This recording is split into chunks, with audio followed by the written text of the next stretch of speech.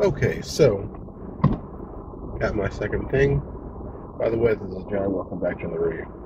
Anyway, we're gonna do this whole thing in reverse.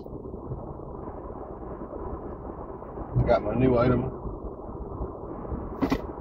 I had to go inside instead of through the drive-through because apparently when you make orders online, they still don't uh, have it ready for you when you get there. Anyway, today, for the second review, we are at Taco Bell to try their new chicken tacos. Uh, these are fried chicken tacos. They look like chicken strips. They're supposed to be made with a tortilla chip crust. I got two. One is spicy, one is regular. Um, I think it just has a little bit of cheese on it and some chipotle sauce and the spicy one has jalapeno peppers on it. And they're on little flatbreads. This is the size of it, not very big. Not sure which this one that I grab. I don't see jalapenos, so this must be the regular one. So you see, flatbread, chicken, some kind of sauce. Maybe no cheese at all. Maybe the cheese is on the bottom. We'll find out as we eat it. Here we go.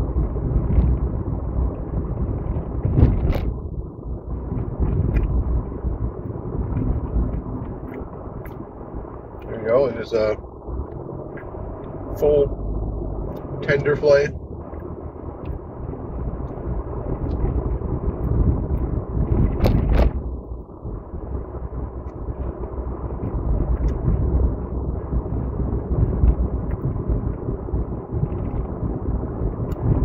It tastes like a little chicken tender with the slightest bit of sauce on it. The flatbread, I really don't think helps it out a lot.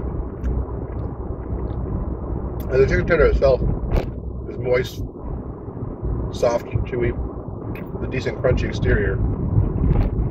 The flatbread is just too thick and bland.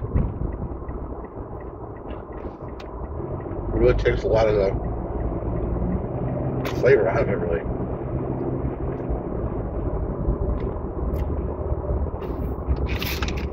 Try a bite of the spicy one, see if those peppers help it out or not.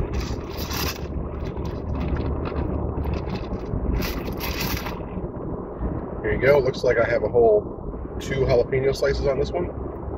Let's give it a bite.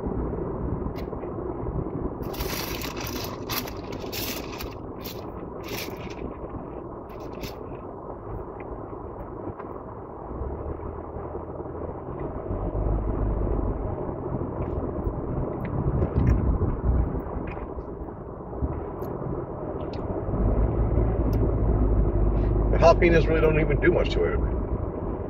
They're not even that spicy. I guess it has a little bit of crunch to the bite, like some pickles would do. Um, I got these both for $1.49. Those are that's the price that you get if you order them online or through the app. If you get through the store, I believe they're like $1.99. So, if you do want to try these, order them online or through the app. Uh, would I suggest you go out and try these? Not really, especially if you're already at, at uh, Taco Bell and you're curious, go ahead and try it. Uh, but it's not something that you need to go out and be curious about because it's just not that great. But I have an idea. And I think if Taco Bell really wants to get into this chicken sandwich contest, what they need to do is get like a nice rounder filet. You can be thick and crispy if you want, um, but make it into a crunch wrap.